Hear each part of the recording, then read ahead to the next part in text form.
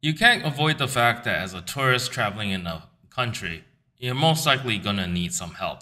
I mean, even somewhere you're familiar with or have traveled to a number of times, you're probably going to at some point or another have to stop around and ask people for directions or for just general questions to help with something. But should never actually miss the opportunity to have spend a few minutes to talk to someone when you're traveling because you always never know you'll meet someone that's kind of interesting or they will have something interesting to tell you instead.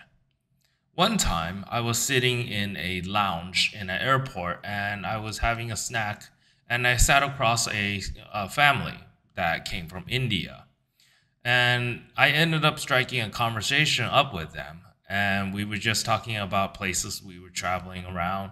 And he told me that hey if you are going to india and you are only going to spend like maybe something about four or five days there or less he recommended that i try to go to a city up in the northern area and a city in the southern area.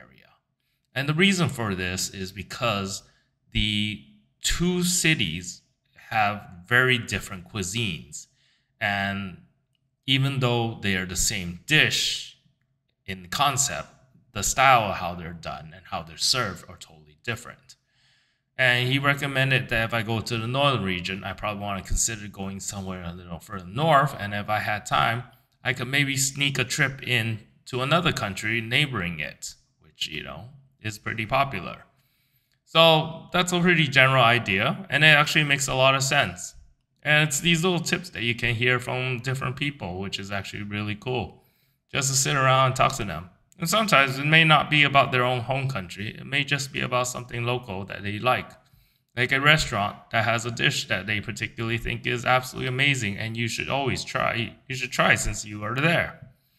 So, or something activity to do, or some local hangout spot, or some random show, or some special events. I mean, these are all things that you can get from talking to a local or another tourist. Or you like my stories, please like and subscribe and safe travels. Talk to you next time.